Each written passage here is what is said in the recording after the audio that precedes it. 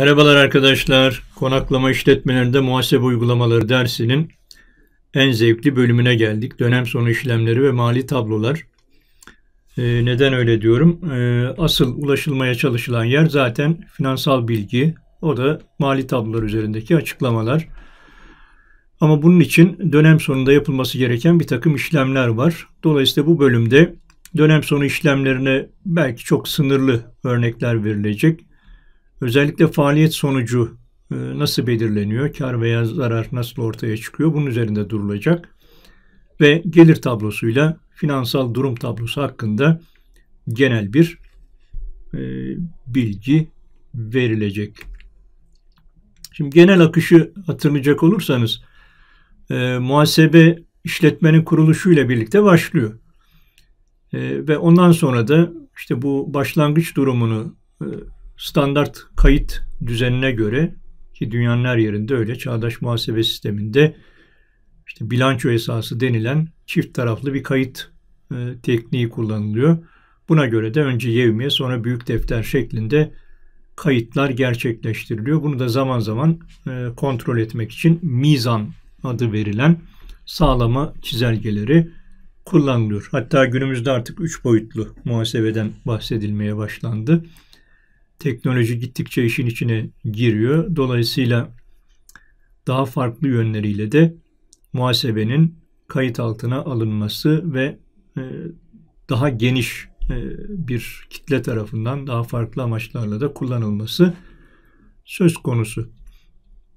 E, biz geleneksel olarak muhasebe sisteminde dönem sonunda neler yapılıyor ya da niye dönem sonunda yapılıyor ona değinelim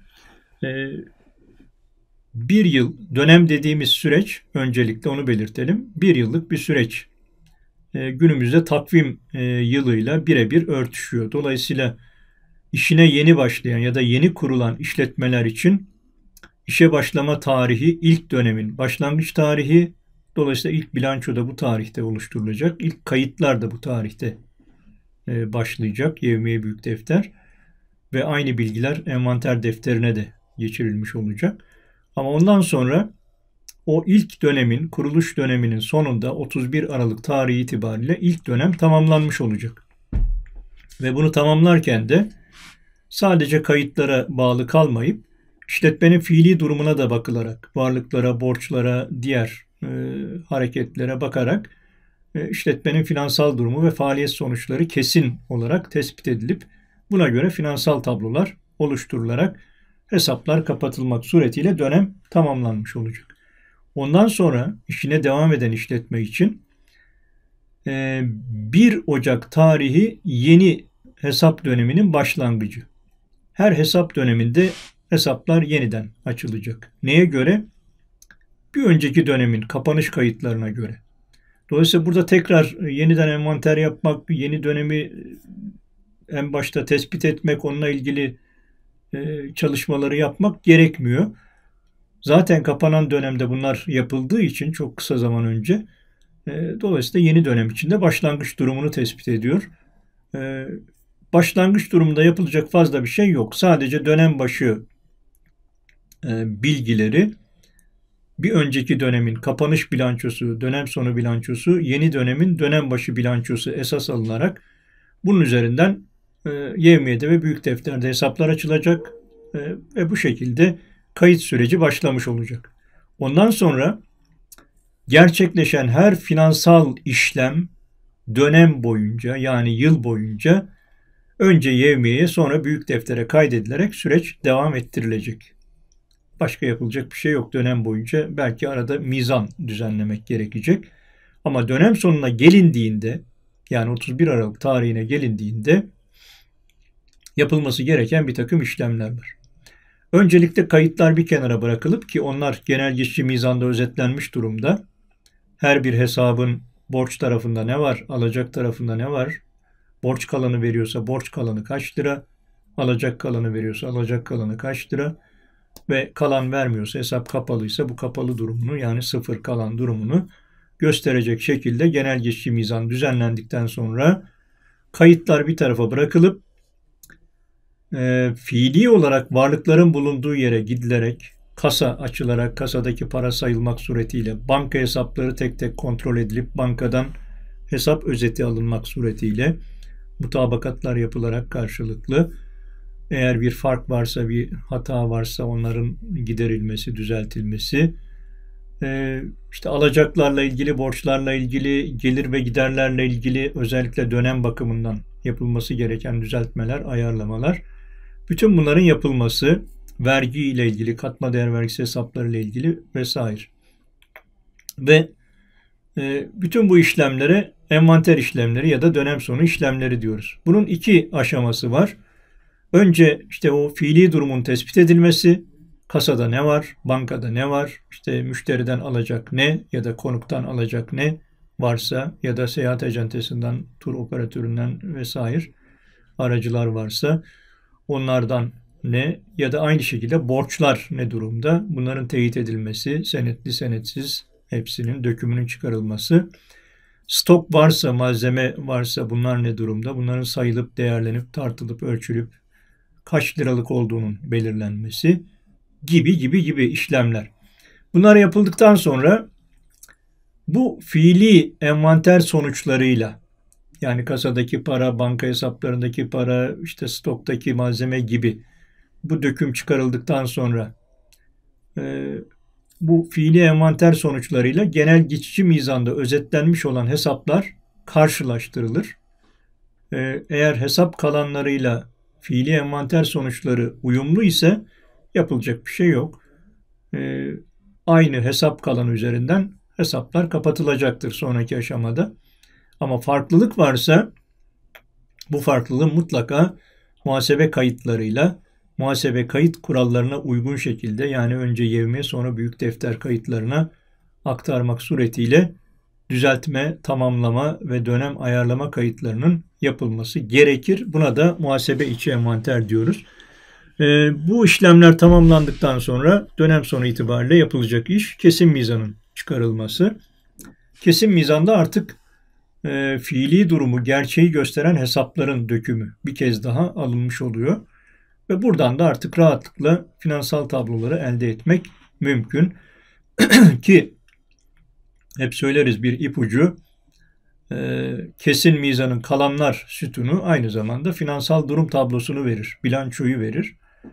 E, gelir tablosu da kar zarara aktarılan dönem boyunca kullanılan gelir ve gider hesaplarının kalanlarından rahatlıkla elde edilebilir. O yüzden kesin mizan önemli bir e, kayıt aracı. Ama bir sonuç tablosu değil asla. E, sonuç tablosu dediğimiz finansal tablolar. Yani muhasebe sisteminin nihai, nihai çıktıları, asıl ulaşılmak istenen e, sonuç, finansal tablolardaki muhasebe bilgileri. Bunlar da kısa adı bilanço ya da diğer adıyla finansal durum tablosu, gelir tablosu, nakit akış tablosu, öz kaynaklarda değişim tablosu gibi e, tablolar şeklinde çoğaltılabilir.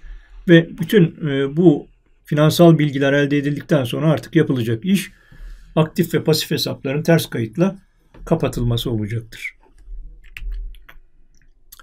E, bunu yaparken özellikle değerleme aşamasında dikkat etmek gereken e, bazı noktalar var. E, değerleme dönem sonu işlemlerinin belki en can alıcı noktası. İki sebeple bir tanesi işte biz bilgilerin gerçeğe uygun ve işletmenin fiili durumunu yansıtır şekilde raporlanmasını istiyoruz. Bunun için doğru değerleme yöntemini ve e, doğru şekilde uygulamayı yapmamız lazım. E, ikincisi mevzuatı da dikkate almamız gerekiyor. Yani bu mevzuat da çok boyutlu.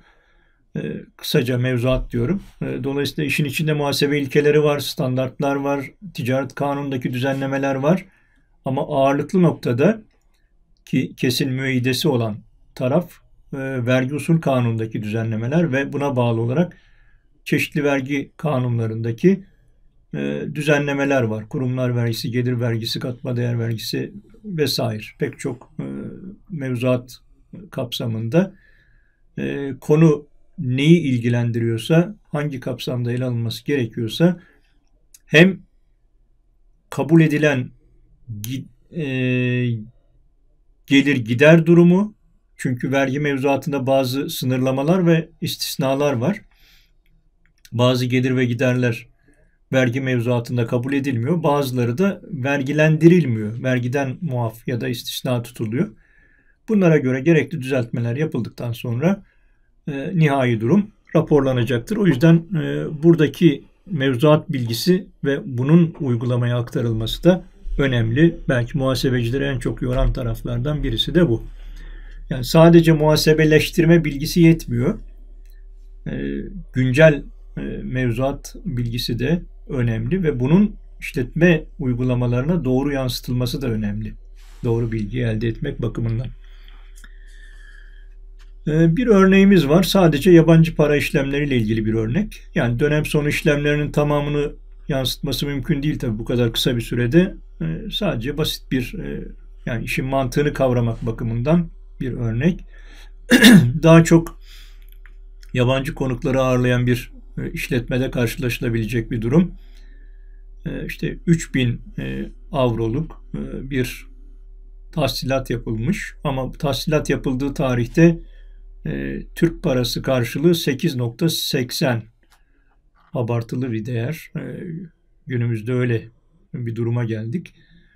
E, ama işin daha da kötüsü dönem sonuna gelindiğinde bu e, avro değeri daha da artmış 9.90'a çıkmış. Böyle bir durum var. E, şimdi buna göre işletmenin o 3000 avroyu tahsil ettiği dönemde kayıt yapıldığını düşünüyoruz. Kayıt yapılması gerekir zaten. İşte burada kasa hesabına 3000 e, avronun Türk parası karşılığı yazılmış olacak. Çünkü kayıtlar Türk lirası cinsinden tutulmak durumunda. O 3000 avro bilgisi de not olarak bir yerde tutulacak ya da yardımcı hesapta izlenecek. E, karşılığı da satış olduğuna göre yurt dışı satış muhtemelen yurt dışı satışlar hesabı alacaklandırılmış olacak. Bu kayıt yapılmış dönem içerisinde. Biz şimdi dönem sonunda o 8.80'den 9.90'a çıkan farkı yani 3000 avro üzerinden oluşan farkı muhasebeleştirmek durumundayız. Ee, burada işletmenin lehine bir durum görünüyor. Kasasında duran paranın değeri artmış. Ee, dolayısıyla bankalar Ha, bankada duruyormuş kasa yerine. E, doğrusu da o zaten. E, bankalar hesabı 3300 lira borçlu. Yabancı paranın kur değerindeki artış nedeniyle varlığımız arttı. Banka hesabımız, banka mevduat hesabındaki e, değer arttı. O yüzden hesabı borçlandırdık. Neden arttı? Bunu açıklayan durumda kambiyo karları hesabı yabancı para işlemlerinden ortaya çıkan kar. E, dolayısıyla gelir ve kar hesapları zaten alacak kaydıyla çalışıyor hep. Bunu biliyoruz. Bu hesapta alacaklandırılmak suretiyle işlem muhasebeleştirilmiş oluyor. Şimdi bir diğer, e, bir diğer durum e, buradaki giderlerle ilgili. Az önceki gelirle ilgiliydi. Bu da hem gelirle hem giderle ilgili genellikle sık karşılaşılan bir durum. Dönem gideri yazıldığı halde henüz tüketilmemiş ya da hizmet olarak karşılığı alınmamış, yararlanılmamış ama ileride yararlanmaya devam edeceğimiz bir durum. Yani bundan mahrum olmayacağız. Bir sonraki dönem yani 1 Ocak'tan itibaren yararlanmaya devam edeceğiz. Ama önceden bu e, işlem yapılmış ve e, sanki tüketilmiş gibi hizmet üretim maliyeti hesabına kaydedilmiş. Burada verilen bilgi öyle diyor. Bir tur işletmesinden alınan aracılık hizmeti için dönem başında ödenen tutar e, ki 21 bin lira tutar ödenmiş. Bu zaten gidere dönüşecek diye tamamı dönem gideri yazılmış. Hizmet üretim maliyeti hesabına yazılmış daha önce. Yukarıdaki açıklamadan bunu anlıyoruz. Fakat dönem sonu kontrolleri sırasında, envanter sırasında bakıyoruz ki bunun 7 bin liralık kısmı henüz kullanılmamış. Yani o anlaşmaya göre daha süremiz var. Bu danışmanlık hizmetinden yararlanmaya süremiz var. Herhalde ay hesabına göre bir şey yapılmış. Buna karşılık gelen tutarı da ileriki dönemde kullanmaya devam edeceğiz. O halde henüz yararlanmadığımız bir gideri bu döneme gider yazamayız. Yazarsak ne olur? E, karımız daha düşük çıkar ya da zararımız daha yüksek çıkar. Gerçeğe uygun olmayan bir durumu beyan etmiş oluruz. Buradan hem bilgilendirme bakımından e, hatalı bir durum çıkar hem de vergi dairesiyle sorun yaşarız bir inceleme durumunda. Dolayısıyla bunun uygun bir şekilde düzeltilmesi gerekiyor. E, hizmet üretim maliyeti hesabından 7 bin liralık kısmın çıkarılıp gelecek aylara ait giderler hesabı adıyla bir bilanço hesabına aktarılması ve bunun gelir tablosu yerine bilançoda e, raporlanması. Yani bir varlık, bir hak olarak gelecek dönemde yararlanmaya devam edeceğimiz bir alacak olarak e, muhasebeleştirilmesi sağlanmış. Bunu e, gelirler için de yapabiliriz. Farklı durumlar için de canlandırmak mümkün. Burada özellikle şuna dikkat etmenizde yarar var arkadaşlar. Şimdi gelir giderlerle ilgili özellikle bir gelecek durum bilgisi var. Bir de dönem içerisinde gerçekleştiği halde henüz kayda geçirilmeyen tüketimler ya da tahsilatlar var. Ee, ikisi tam ters yönlü işlem. Dolayısıyla her görülen e, fark gelecek dönem diye düşünülmemesi gerekir. Buradaki ayrım bilanço ile gelir tablosu yani varlıkla gider ya da borçla gelir ayrımı. Dolayısıyla kavramsal olarak birbirinden çok farklı unsurlar. O yüzden dikkatli bir şekilde işlemin incelenmesi ve ona göre düzeltme kaydının yapılması önemli. Burada da işte bakın ikinci örnek var. Ee, bu defa dönem içerisinde gerçekleşmiş ama henüz gider olarak muhasebeleştirilmemiş. Ama bu dönemin tüketimi mi? Gerçekleşmiş mi? Evet. O halde tahakkuk eden gelir ve giderler tahakkuk ettiği dönemde yani gelir ve giderleri biz gerçekleşme esasına göre muhasebeleştiriyoruz.